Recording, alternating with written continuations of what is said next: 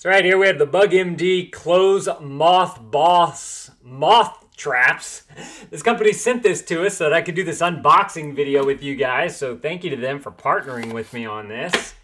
So let's go ahead and open up this bad boy on up right here. Let's see, they all come nice and individually wrapped just like that. Oop, there's one more in there. How many you getting here?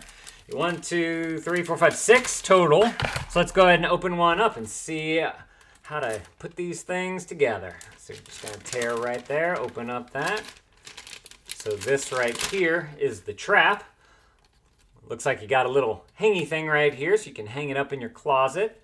This is the sticky trap right there. So we're gonna remove this right here and it's gonna, uh, the moths can stick to that piece right there. But first I wanna figure out how this thing, okay, I see. So you can see where the line is right there. So that's where you're gonna bend it up. And then it looks like this is going to, so there's this little nougat right here, and that's gonna fit inside this little guy right here so that it connects and stays together just like that. Let's see if I can take this paper off with it already connected. I don't know if it's, again, I think it's best to have it open to where it's nice and flat. Then you can easily peel this thing back just like that. Man, that's some sticky stuff right there. And then we can just simply connect this back on it through there, kind of like a cereal box type of thing where you put the little tab into the little slot and then it holds from there.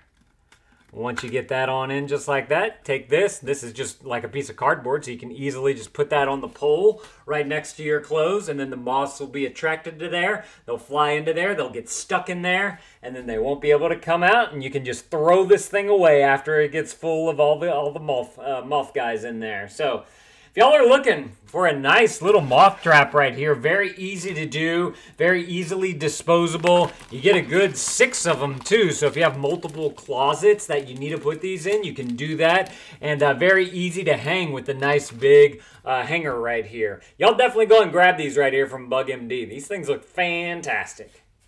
Actually, before we go, too, I'm to open this up. I want to touch the stickiness so that we can see how sticky this pad is. Oh yeah, look at that. Go, yeah. Oh boy. Yeah, those moths are definitely not coming off that right there. Y'all gotta go and grab y'all some of these if this is something that you're looking for. Thank y'all for watching, and Dad out.